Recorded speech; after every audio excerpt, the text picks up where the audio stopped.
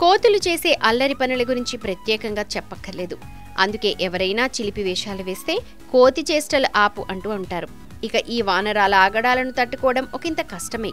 ఇటీవల కోతులు వనాలను వదిలి ఆహారం కోసం గ్రామాల్లోకి వచ్చేస్తున్నాయి ఈ క్రమంలో ఇళ్ళలో చొరబడ్డం దారిన పోయే వాళ్ళ చేతిలో ఏమైనా ఉంటే అవి లాక్కొని పారిపోవడం చేస్తుంటాయి. తాజాగా ఓ కోతి చేసిన పని నెట్టింట తెగ వైరల్ అవుతోంది.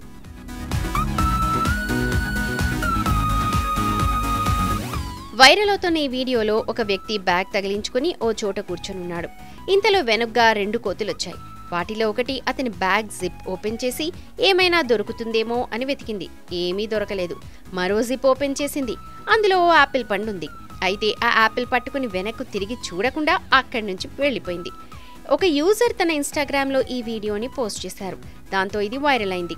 లక్ష మందికి పైగా వీడియోను వీక్షించారు. వేల మంది లైక్ చేశారు. నెటిజన్లు కూడా ఈ వీడియోపై స్పందించారు. చోరకళలో ఆరితేరిన కోతి అంటూ ఫనీ కామెంట్స్ చేశారు.